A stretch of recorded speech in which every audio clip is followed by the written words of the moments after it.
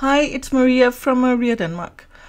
Um, now I'm going to show you how to mark and fold the pleats, the drape pleats uh, in the Karen dress. Here I've marked the pleats um, with a little snip in within the seam allowance and then I've added pins uh, and you can see I've uh, paired them with the same color pins to each uh, pleat and I've done that all the way down of course.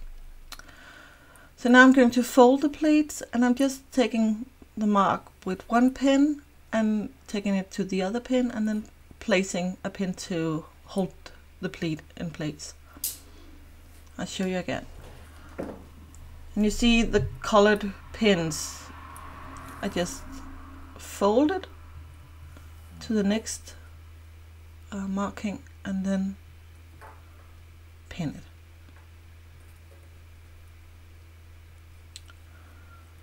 Like that. And here's a close-up.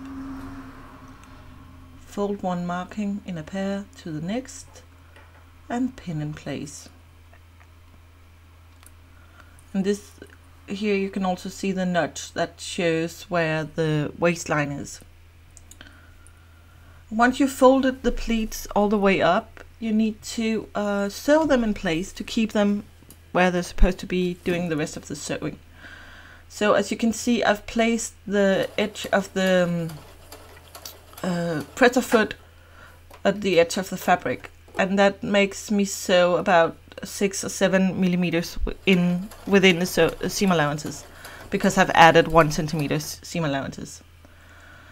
And since I'm sewing this way, I have to stop and lift the presser foot when I whenever I get to a pleat right there, for instance and that's because I'm sewing from uh, from the top down, and you might be better off just uh, sewing the other way uh, from the bottom up. So that's it. You're ready to sew your Karen dress. Have fun!